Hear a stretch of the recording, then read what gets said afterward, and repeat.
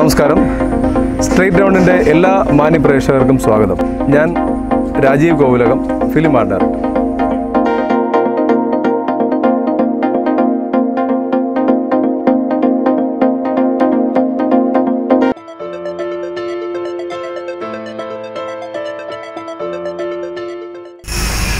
ഈ കൊറോണ കാലത്ത് ശരിക്കും കൊറോണ കാലത്തിന് മുമ്പ് അത് സ്റ്റാർട്ട് ചെയ്യുന്നതിന് മുമ്പ് തന്നെ നമ്മൾ പ്ലാൻ ചെയ്തിരുന്ന പ്രോജക്റ്റുകളാണ് പത്താം വളവ് എന്ന സിനിമ. അതുപോലെ വേറെ സിനിമകളുണ്ട്. കൊറോണ കാരണം ഏറെ ബുദ്ധിമുട്ട് അനുഭവിക്കുന്ന അതായത് ഇപ്പോൾ ഏറെക്കുറെ ഒന്ന് കുറഞ്ഞു വരുന്നുണ്ടെങ്കിൽ പോലും ഒരുപാട് ബുദ്ധിമുട്ട് അനുഭവിക്കുന്ന ഒരു മേഖലയാണ് ഒരു ഒരു ഒരു ഒരു ഇൻഡസ്ട്രിയാണ് ഫിലിം ഇൻഡസ്ട്രി. അത് എല്ലാവർക്കും അറിയാം.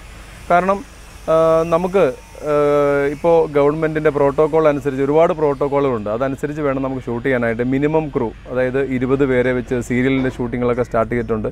നമുക്കറിയാം ഒരു മലയാള സിനിമയ്ക്ക് ഒരിക്കലും ഇരുപതോ നാൽപ്പതോ അറുപതോ പേരിൽ പോലും ചിലപ്പോൾ സിനിമകൾ നമുക്ക് അത്രയും ക്രൂ കൊണ്ട് നമുക്ക് ഷൂട്ട് ചെയ്യാൻ പറ്റില്ല. സിനിമയുടെ സ്ക്രിപ്റ്റ് അനുസരിച്ച് അല്ലെങ്കിൽ അതിന്റെ വലിപ്പം അനുസരിച്ച് നൂറും നൂറ്റി ഇരുപതും ക്രൂ ഉണ്ടാവുന്ന സിനിമകളുണ്ട്.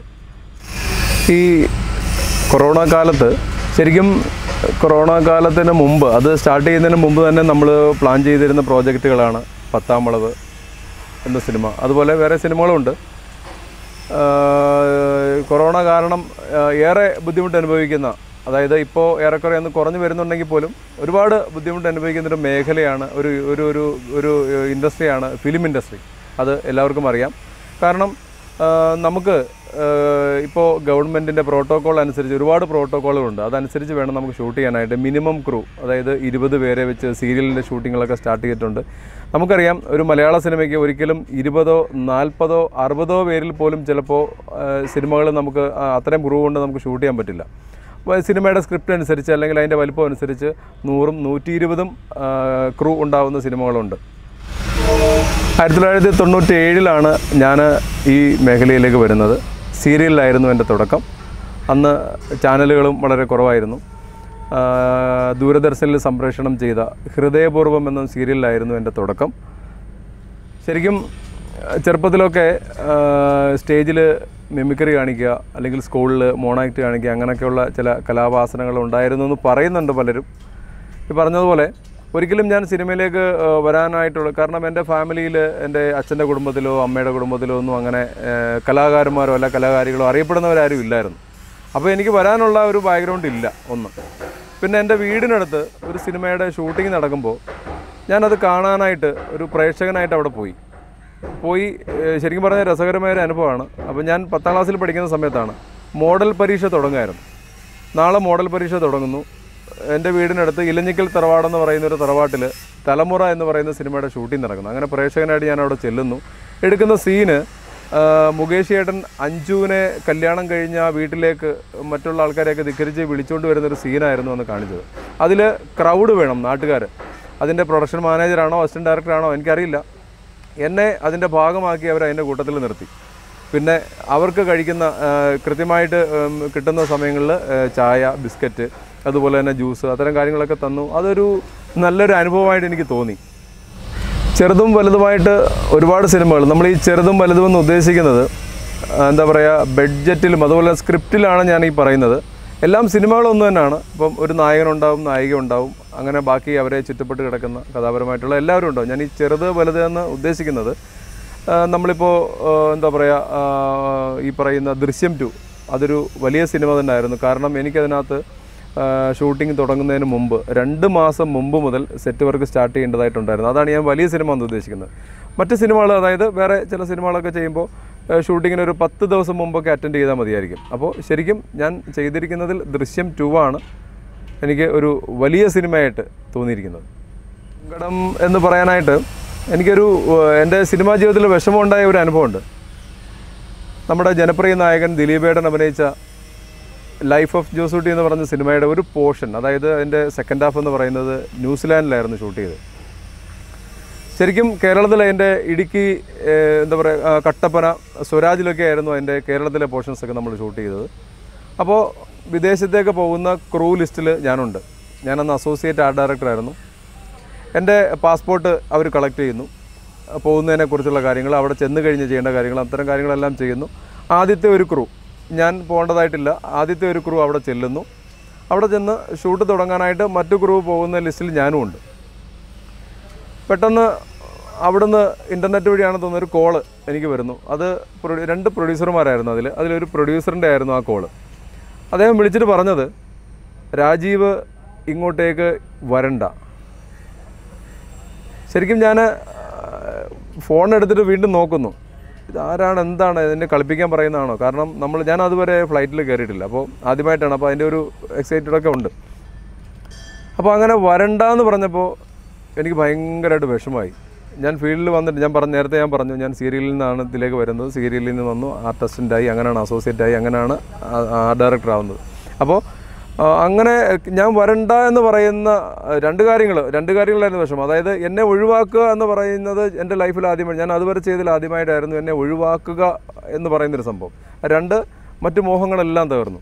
അതായത് ഫ്ലൈറ്റ് കയറാനുള്ള ഒരു ആഗ്രഹം അത് തകരുന്നു. ന്യൂസിലാൻഡ് കണ്ടിട്ടില്ല അത് തകരുന്നു. അങ്ങനെ എന്റെ ലൈഫിൽ എനിക്കുണ്ടായ ഏറ്റവും വലിയൊരു സിനിമ ജീവിതത്തിൽ എനിക്കുണ്ടായ ഒരു വലിയൊരു വിഷമം എനിക്ക് മറക്കാൻ പറ്റാത്തൊരു വിഷമം എന്ന് പറയുന്നത് ഈ ഒരു അനുഭവമാണ്.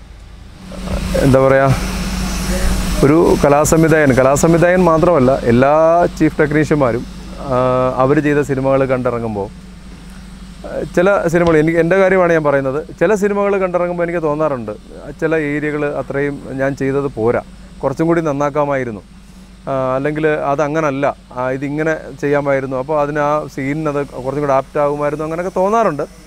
പക്ഷേ എന്താ പറയുക ഈ സാഹചര്യം എന്ന് പറയുന്നൊരു സംഭവം ഉണ്ടല്ലോ അന്നേരം നമുക്കുണ്ടാവുന്ന ചിലപ്പോൾ തുറന്നു പറയാം ചിലപ്പം പ്രൊഡ്യൂസറിന്റെ സാമ്പത്തിക സ്ഥിതി അതല്ലെങ്കിൽ നമ്മൾ ഹറിബറി ആയിട്ടൊക്കെ ചിലപ്പം രണ്ട് ദിവസം കൊണ്ട് എടുക്കേണ്ട സാധനം അതൊരു നാല് ദിവസത്തിലേക്ക് പോകുന്നു.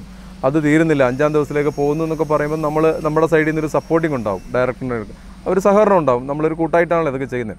അപ്പോൾ നമ്മൾ ആ സീൻ അവിടെ എങ്ങനെയെങ്കിലും അവസാനിപ്പിക്കാൻ വേണ്ടിയിട്ട് അതായത് സീൻ എടുക്കണം. അതിന് വേണ്ടിയിട്ട് കാര്യങ്ങളൊക്കെ ചെയ്ത് അവസാനിപ്പിച്ച് ഇറങ്ങി. പിന്നെ ഇത് ഞാൻ കാണുമ്പോൾ അല്ലെങ്കിൽ എന്റെ എന്റെ സുഹൃത്തുക്കൾ കാണുമ്പോൾ അവർ എന്ത് പറയും എന്നുള്ളൊരു തോന്നലുണ്ട്. അപ്പോൾ അങ്ങനെ ഒരു സംഭവം ഉണ്ട് എനിക്ക് മനസ്സിൽ ചില സിനിമകൾ ചെയ്ത് സിനിമകൾ കാണുമ്പോൾ അതത്രയും പോരായിരുന്നു എന്നൊക്കെ തോന്നാറുണ്ട്. വലിയൊരു ചോദ്യമാണത്. ശരിക്കും ഞാൻ പറഞ്ഞല്ലോ ഞാൻ മിമിക്രിയിൽ മോണാക്ടി കൂടെ ഒക്കെയാണ് ഈ സിനിമയിലേക്ക് വന്നത്. ആഗ്രഹം സിനിമാ നടനാകണമെന്നൊക്കെ തന്നെ ആയിരുന്നു പക്ഷേ ഇപ്പം നമ്മൾ ആഗ്രഹിക്കുന്ന എല്ലാം നമുക്ക് കിട്ടണമെന്നില്ല. അത് വലിയൊരു വെല്ലുവിളിയാണത്. നമ്മൾ വരുന്ന സ്ക്രിപ്റ്റ് എല്ലാം വായിച്ചു കഴിയുമ്പോൾ നല്ല നമ്മളോട് നമ്മളെ അടുത്തറിയാവുന്ന ഡയറക്ടേഴ്സ് അല്ലെങ്കിൽ അതിന്റെ അസോസിയേറ്റ് ഡയറക്ടർ അവർക്കൊക്കെ കൂടെ ആയിരിക്കും പറയുന്നത് അത് ആ സംഭവം രാജീവ് ചെയ്താൽ മതി എന്ന് പറയും. അങ്ങനെയാണ് ഞാൻ ഇപ്പോൾ ദൃശ്യം ടൂവിലും ദൃശ്യം വണ്ണിലും ഒക്കെ ഞാൻ അഭിനയിച്ചത്. അതൊക്കെ ആ ദൃശ്യം വണ്ണിൽ അഭിനയിച്ചുകൊണ്ടാണ് സെക്കൻഡിൽ അഭിനയിക്കാൻ പറ്റിയത്. ദൃശ്യം വണ്ണിൽ അഭിനയിച്ചതൊക്കെ പെട്ടെന്നായിരുന്നു. കാരണം ഞാൻ എന്റെ ഞാൻ അതിന്റെ അസോസിയേറ്റ് ഡയറക്ടർ ഡയറക്ടറായിരുന്നു. അപ്പോൾ എന്റെ ജോലികളൊക്കെ ചെയ്തുകൊണ്ടിരിക്കുമ്പോൾ ജിത്തു സാറും അതുപോലെ തന്നെ അസോസിയേറ്റ് എല്ലാം കൂടി ചേർന്നിട്ടൊരു ചർച്ച നടക്കുന്നു. അത് ഒരുപാട് കുറച്ച് ഡയലോഗ് ഉള്ളൊരു പോർഷനായിരുന്നു അപ്പോൾ അത് ആക്ച്വലി വേറൊരാളായിരുന്നു അതിന്റെ അതിൽ അഭിനയിക്കേണ്ടത്. പുള്ളിക്കാരനെല്ലാം തയ്യാറായി നിന്നതാണ്. അപ്പോൾ ഷോട്ട് എടുക്കുന്നതിന് മുമ്പായിട്ട് അദ്ദേഹത്തിനെ വിളിച്ച് മാറ്റി നിർത്തിയിട്ട് പറയേണ്ട ഡയലോഗുകൾ പറഞ്ഞപ്പോൾ പുള്ളിക്കാരനത് ഓക്കെ ആവുന്നില്ല എന്ന് കണ്ടപ്പോൾ പെട്ടെന്ന് അവർ ചൂസ് ചെയ്തതാണ് തന്നെ അങ്ങനെയാണ് ദൃശ്യം വണ്ണിൽ അഭിനയിച്ചത്. അഭിനയിച്ചത് വലിയ ഭാഗ്യമായി. അതുകൊണ്ട് സെക്കൻഡിൽ അഭിനയിക്കാൻ പറ്റി. ഒരുപാട് പേരത് കണ്ടിട്ട് വിളിച്ചു. എന്നെ അറിയാവുന്ന ഒരുപാട് ആൾക്കാർ ദൃശ്യം ടൂവിൽ അഭിനയിച്ചത് കണ്ടിട്ട് വിളിച്ചു. വളരെ നന്നായിരുന്നു എന്നൊക്കെ പറഞ്ഞു. തീർച്ചയായിട്ടും ഈ പറയുന്നത് പോലെ നമ്മൾ ആഗ്രഹിക്കുന്ന പോലെ അല്ല അങ്ങനെ മുഴുനീള കഥാപാത്രമൊന്നും കിട്ടാൻ സാധ്യതയില്ല. എന്നാൽ പോലും ചെയ്യുന്ന സിനിമകളിലൊക്കെ ചെറിയ ചെറിയ എന്തെങ്കിലുമൊക്കെ സംഭവങ്ങൾ ചെയ്യാറുണ്ട്. അത് കാരണം നമ്മളിൽ നമ്മളുണ്ട്. അല്ലെങ്കിൽ നമ്മൾ ഈ പ്രായത്തിൽ ഈ ഇപ്പോൾ എനിക്ക് നമ്മുടെ ഈ പ്രായത്തിൽ ഇങ്ങനെ ആയിരുന്നു നമ്മുടെയൊക്കെ മക്കൾ അല്ലെങ്കിൽ നമ്മുടെയൊക്കെ കൊച്ചുമക്കളൊക്കെ ഇത് എപ്പോഴെങ്കിലുമൊക്കെ കാണും. കാരണം സിനിമ എന്ന് പറയുന്നത് ഒരിക്കലും എങ്ങൊന്നും നഷ്ടപ്പെട്ടു പോകുന്ന വിഷ്വലുകളല്ല. എന്നും ഉണ്ടാവും അപ്പോൾ അവർക്ക് എപ്പോഴെങ്കിലുമൊക്കെ കാണാനായിട്ട് എന്റെ അച്ഛൻ അല്ലെങ്കിൽ എന്റെ അപ്പൂപ്പൻ നാൽപ്പതാമത്തെ വയസ്സിൽ അല്ലെങ്കിൽ നാൽപ്പത്തിരണ്ടാമത്തെ വയസ്സിൽ ഇങ്ങനെ ആയിരുന്നു എന്നൊക്കെ അവർക്കൊരു തോന്നലുണ്ടാവുമല്ലോ. അതിനുവേണ്ടി കിട്ടുന്ന ചാൻസുകളൊന്നും ഞാൻ കളയാറില്ല അഭിനയിക്കാറുണ്ട്. ഇഷ്ടമാണ്. ശരിക്കും ഓണക്കാലം എന്ന് പറയുന്നത് നമ്മൾ കുടുംബത്തോടൊപ്പം നമ്മുടെ അച്ഛനും അമ്മയും നമ്മുടെ മക്കൾ എല്ലാവരുമായിട്ടും ആഘോഷിക്കണം എന്ന് തന്നെയാണ് എല്ലാ മലയാളികളുടെയും ആഗ്രഹം. പക്ഷെ നമ്മളൊക്കെ ചെയ്യുന്ന ജോലികൾ അല്ലെങ്കിൽ നമ്മുടെയൊക്കെ ഉത്തരവാദിത്വം അത് എത്രത്തോളം അത് നടത്താൻ പറ്റും എന്നുള്ളത് അറിയില്ല. എന്റെ കാര്യം മിക്കവാറും ഓണ സമയങ്ങളിൽ ഞാൻ ലൊക്കേഷനിലായിരിക്കും. ഈ ഓണക്കാലവും അതുപോലെ തന്നെ ട്വൽത്ത് മാൻ എന്ന് പറഞ്ഞ സിനിമയുടെ ലൊക്കേഷനിലാണ്. തിരുവോണത്തിന് നമുക്ക് വീട്ടിൽ പോയി കുടുംബമായിട്ടിരുന്ന് ആഹാരം കഴിക്കാൻ പറ്റുമെന്ന് അറിയില്ല. ആഗ്രഹമുണ്ട്. അതുപോലെ എനിക്ക് എടുത്തു പറയാനുള്ളത് പുതിയ നിയമം എന്ന് പറയുന്ന മമ്മൂക്ക അഭിനയിച്ച സിനിമ. അതിൽ നമ്മളെല്ലാവരും കൂടെ ചേർന്നിട്ട് മെയിൻ ലൊക്കേഷനിൽ ഒരു ഷെഡും കാര്യങ്ങളൊക്കെ കെട്ടിയിട്ട് അവിടെ ഇരുന്നായിരുന്നു ഞങ്ങളുടെ എല്ലാവരുടെയും ഓണാഘോഷം. ഇപ്പോൾ ഞാൻ എടുത്ത് പുതിയ നിയമം എന്ന് പറഞ്ഞെങ്കിലും ഒരുപാട് സിനിമകളിൽ ഈ തിരുവോണ സമയത്ത് നമ്മൾ ലൊക്കേഷനിൽ തന്നെയാണ് നമ്മൾ ഓണം ആഘോഷിക്കാറുള്ളത്. വീട്ടുകാരോടൊത്ത് ആ ഓണം ആഘോഷിക്കണമെന്ന് ആഗ്രഹമുണ്ട്. ചിലപ്പോൾ അത് സാധിക്കാറില്ല. ഈ ഓണക്കാലം അതുപോലെ തന്നെ ഞാൻ ലൊക്കേഷനിലായിരിക്കും ട്വൽത്ത് മാൻ എന്ന് പറഞ്ഞ സിനിമയുടെ ലൊക്കേഷനിലായിരിക്കും പുതിയതായിട്ട് വരുന്ന ആൾക്കാരോട് എനിക്ക് പറയാനുള്ളത് നമ്മൾ കലാസംവിധായകൻ ഇപ്പോൾ ഈ പറയുന്ന പോലെ നമ്മൾ എല്ലാം എല്ലാ കലാസംവിധായകന്മാരും ഇപ്പോൾ ഡിസൈനിങ് അറിഞ്ഞവരോ ആയിരിക്കണമെന്നില്ല. നമ്മൾ ചെയ്യിപ്പിക്കാനുള്ളൊരു കഴിവുണ്ടായാലും മതി. അവർ ചെയ്യുന്ന സാധനങ്ങൾ നമുക്ക് വേണ്ട ഔട്ട് അവർ ചെയ്യുന്ന സാധനങ്ങളിൽ നമ്മൾ കറക്ഷൻ പറയുക അല്ലെങ്കിൽ ഈ പറയുന്ന പോലെ ചെയ്യുന്ന സാധനങ്ങൾ ഓക്കെ ആണോ ഇല്ലയോ എന്നുള്ളത് ജഡ്ജ് ചെയ്യാനുള്ളൊരു മൈൻഡ് നമുക്കുണ്ടായിരിക്കണം. അതൊന്ന്. രണ്ട് ഈ പറയുന്നത് പോലെ നമ്മൾ ഒരു കലാസംവിധായകനെ സംബന്ധിച്ചിടത്തോളം തുടക്കം ഡയറക്ടറെ ബിഹേവ് ചെയ്യുക. ഡയറക്ടറിന്റെ സ്ക്രിപ്റ്റ് നമ്മൾ നരേഷൻ ചെയ്യുന്ന സമയത്ത് അത് മനസ്സ് ഒബ്സർവ് ചെയ്യുക. കൃത്യമായ രീതിയിൽ അത് ഒബ്സർവ് ചെയ്യുക. എന്താണ് ഡയറക്ടർ ഉദ്ദേശിക്കുന്നതെന്നുള്ള മനസ്സിലാക്കുക.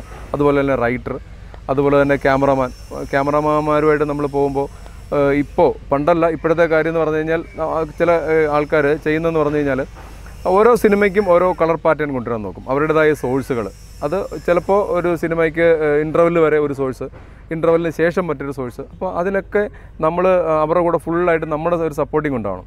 ഒരു ക്യാമറാമാൻ എപ്പോഴും ഒരു കലാസംവിധായകനും കൂടെ ചേർന്ന് ചെയ്യുകയാണെങ്കിൽ ആ സിനിമയുടെ വിഷ്വൽ എന്ന് പറയുന്നത് ഗംഭീര വിഷ്വലായിരിക്കും അപ്പോൾ പുതിയതായിട്ട് വരുന്ന ആൾക്കാർ ആദ്യം മനസ്സിലാക്കേണ്ട കാര്യങ്ങളിൽ ചില കാര്യങ്ങളെന്ന് പറഞ്ഞു കഴിഞ്ഞാൽ നമ്മളെല്ലാവരെയും നമ്മൾ എങ്ങനെയാണ് ബിഹേവ് ചെയ്യുക എന്നുള്ളതാണ്.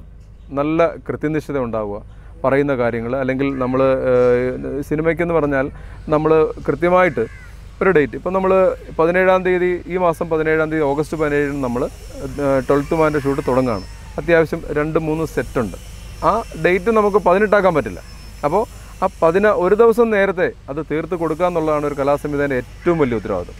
എന്ന് പറഞ്ഞതുപോലെ കൃത്യനിഷ്ഠതയാണ് അല്ലെങ്കിൽ അതുപോലെ ബാക്കിയുള്ള ആൾക്കാരോടെല്ലാം ബിഹേവ് ചെയ്യുന്നത് തന്നെയാണ് ഒരു കലാസംവിധായകന്റെ അതായത് കഴിവിനേക്കാൾ കൂടുതൽ കഴിവ് അതായത് അവരുടെ ഇപ്പോൾ ഡിസൈൻ ചെയ്യുന്നതാണെങ്കിൽ പോലും വരയ്ക്കുന്നതാണെങ്കിൽ പോലും എന്താണെങ്കിൽ പോലും അവരുടെ ക്രിയേറ്റീവായിട്ടുള്ള കഴിവ് പ്ലസ് ബിഹേവിങ് എന്ന് പറയുന്നത് ഒരു വലിയ കാര്യം തന്നെയാണ്. കോവിഡാണ് അത്യാവശ്യം ഇപ്പോൾ കേരളത്തിലാണ്. അതായത് ഇന്ത്യയിൽ ഏറ്റവും കൂടുതൽ കോവിഡ് രോഗികളുള്ളത് കേരളത്തിലാണ്. ഇതൊക്കെ നമുക്കറിയാം. എന്നാൽ പോലും നമ്മുടെ മലയാളി പ്രേക്ഷകർ അതായത് സിനിമയെ ഇഷ്ടപ്പെടുന്ന ആൾക്കാരുടെ എണ്ണം ഒരിക്കലും കുറയുന്നില്ല. അത് കൂടുന്നതേ ഉള്ളൂ. അതിന്റെ ഉദാഹരണം നമ്മൾ ഒ ടി ടിയിൽ ഇറങ്ങുന്ന സിനിമകൾ കാണുന്ന പ്രേക്ഷകന്റെ എണ്ണം കണ്ടു കഴിഞ്ഞാൽ നമുക്കത് മനസ്സിലാവും. തീർച്ചയായിട്ടും ഈ പ്രതിസന്ധി മാറും. എല്ലാവർക്കും അതായത് നല്ല സിനിമകൾ കൊടുത്താൽ ഒന്നോ രണ്ടോ തവണ തിയേറ്ററിൽ തന്നെ വന്ന് കാണണമെന്നാണ് എല്ലാവരുടെയും ആഗ്രഹം. അതങ്ങനെ തന്നെ വരും ഈ വരും ദിവസങ്ങളിൽ. നമ്മൾ ഒരുപാട് നല്ല സിനിമകൾ വലിയ വലിയ സിനിമകൾ ഒരുപാട് വലുതും ചെറുതുമായ നല്ല സബ്ജക്റ്റായിട്ടുള്ള ഒരുപാട് സിനിമകൾ തിയേറ്ററിൽ തന്നെ റിലീസ് ചെയ്യാനായിട്ട് ഇരിക്കുന്നുണ്ട്. അതോടൊപ്പം എന്താ പറയുക നല്ല നല്ല സിനിമകൾ ഒ ടി ടിയിലും റിലീസാവുന്നുണ്ട്. ഇതിനൊക്കെ ഒരുപാട് പ്രേക്ഷകരുണ്ട്. അപ്പോൾ എന്നും മലയാളികൾ മലയാളികൾക്ക് ഏറെ ഇഷ്ടമുള്ള ഒരു എന്റർടൈൻമെന്റ് എന്ന് പറയുന്നത് സിനിമ കാണുക എന്ന് തന്നെ ഉള്ളതാണ് കാരണം അതൊക്കെ പറയാൻ കാര്യം നമ്മൾ സിനിമാക്കാരനാണെന്ന് പറയുമ്പോൾ നമുക്ക് കിട്ടുന്ന ചില എന്താ പറയുക ചിലയിടത്തൊക്കെ ചെല്ലുമ്പോൾ കിട്ടുന്ന ചില സഹകരണങ്ങളുണ്ട്.